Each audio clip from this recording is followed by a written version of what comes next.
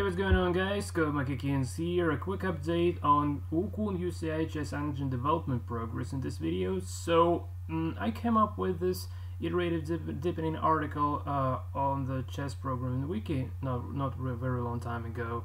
And this is what what it tells us. So, iterative deepening has been adopted as the basic time, time management strategy in depth first search as well. This is quite pretty clear because obviously uh, if your engine runs out of time uh, you just can drop to the previous depth uh, when it already did uh, find the best move and just return that best move and, and you're done basically but uh, has proved surprisingly beneficial as far as move ordering is concerned in Alphabeta uh, and its enhancements.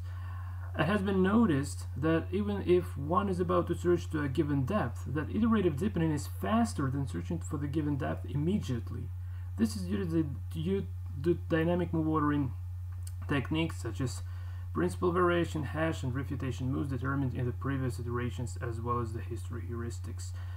So, uh, what I want to show you in this video, guys, I just want to show you how works uh, how works actually. And if you didn't yet understand like uh, the idea behind the iterative deepening, I would rather show you this within the code so so you can understand. So uh, here we have mm, our search position function that calls negamax search initially to a given depth straight away which is not in an iterative deepening. So this is the approach of just just going for, for the given depth straight away.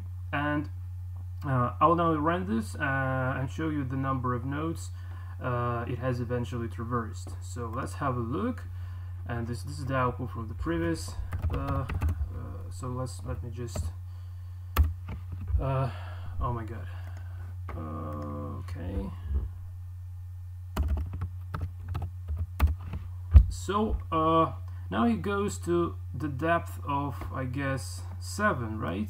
Straight away, and the number of nodes being traversed in order to get this principal variation, so it goes d to d4 d75, then it goes knight g1 to f3, knight to g8 to f6, b1 c3, b8 c6, and c1 f4 bishop goes. Okay, so we uh, we did traverse 1 million and 20 uh, two, 200,000 and uh, oh my god two, okay 1 million and 243,395 uh, nodes here so more than 1 million nodes. It's, re it's really quite pretty a lot.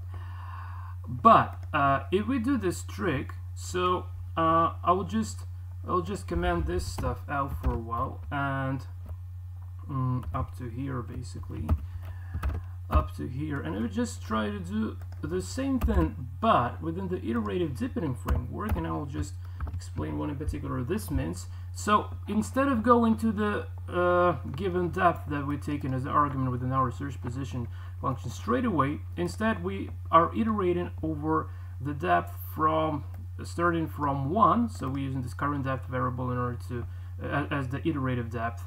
So starting from depth 1, and then we go into and then we increment in, increment in this current depth until it would be equal less or equals to the depth that is actually given to us and every time we're making uh, our Negamax search with the current depth. And the idea is that as far as this, uh, this engine supports pr principal variation, uh, uh, principal variation tables uh, table, and it orders the move appropriately, along with the history moves and the killer moves and obviously MVVLV, but doesn't that doesn't really matter that much regarding the iterative deepening obviously. So uh, I just want to say that in this case, surprisingly, it really gives uh, a better result. So let me just try to run this again, uh, and I'll show you. So you see, like this was the only iteration. So just, just go into the depth of seven straight ahead, and here you just go uh, from depth. Uh,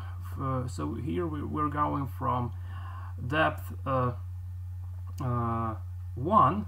Oh, actually, why does it print the depth? That's because uh, here we need to print not the depth but the current depth instead sorry guys let me just run this one more time okay so now, now this is it so at depth of one it gives us uh, the only move basically which is quite pretty predictable and then this move uh, a PV move is, is used in order to, to be the very first one uh, to be searched in the next iteration. And this this this is the, these are the results we were given. And eventually you see this number.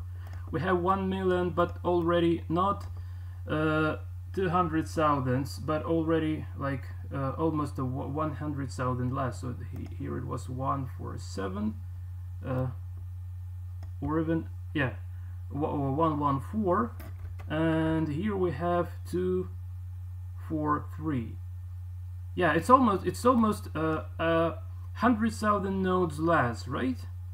Yeah so I just I just I, I, I would even like to turn my to turn my magic calculator on and try to uh, try, try to check this in particular. So what, what what this is gonna be look like.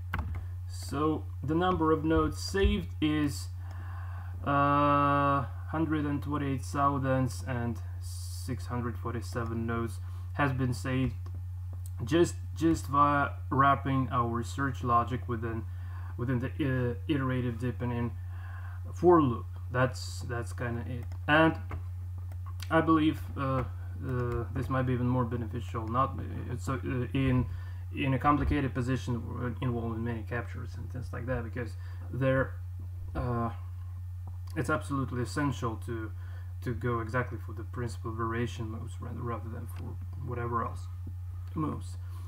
Well, okay guys, so uh, uh, I guess this is it for this uh, quick little update and I really hope that uh, this uh, this sort, sort of, uh, of an update would help Wukong finally beat TSCP because the last last try wasn't really that, that successful.